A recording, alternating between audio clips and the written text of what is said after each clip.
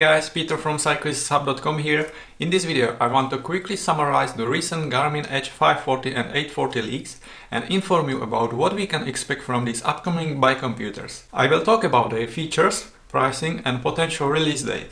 Take the following information with a grain of salt because they were not officially confirmed by Garmin. They are based on the leaks from Adorama.com. So, what new Garmin Edge models can we expect?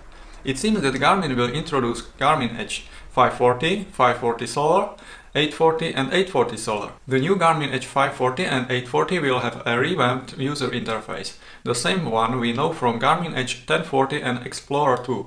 It's more user-friendly and easier to use. We will also finally be able to customize the head units via the Garmin Connect smartphone app, just like Wahoo head units. The Edge 840 and 840 Solar will have a touchscreen display, but newly also physical buttons for those who prefer them.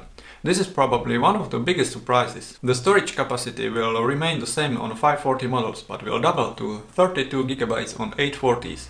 All models should also come with the multiband GNSS, which improves GPS accuracy. The claimed battery life for the 540 and 840 should increase to 26 hours from 20 hours on 530 and 830. The solar models should increase it to up to 32 hours in ideal conditions. This means plus 25 minutes per hour of riding. While the claimed battery life improved, this improvement is a little bit disappointing compared to the 40% increase seen from the Edge 1040 compared to the 1030 Plus. What do you think?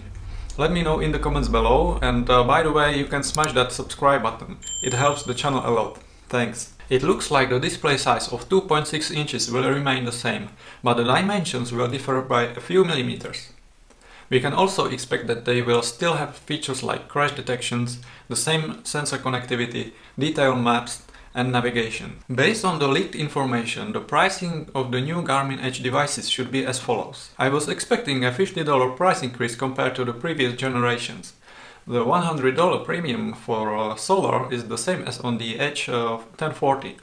Do you think it's reasonable? Let me know in the comments below. Initially, I predicted that Garmin would release these new models before Christmas, but this didn't happen. The current assumption is that they will be launched in the next few weeks, most likely in April. However, no exact date has been confirmed yet. To be honest, I didn't have high expectations for the 540 and 840 due to the current market situation, but this leak pleasantly surprised me.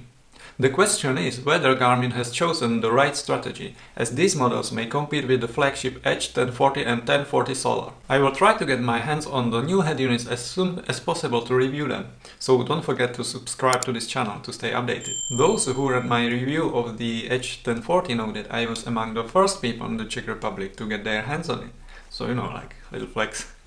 Anyway, thanks for watching and I will see you in the next one.